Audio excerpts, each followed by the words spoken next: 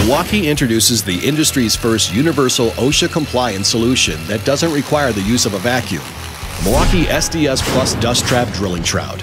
The dust trap universally fits all SDS Plus rotary hammers and drill bits up to 8 inches in length.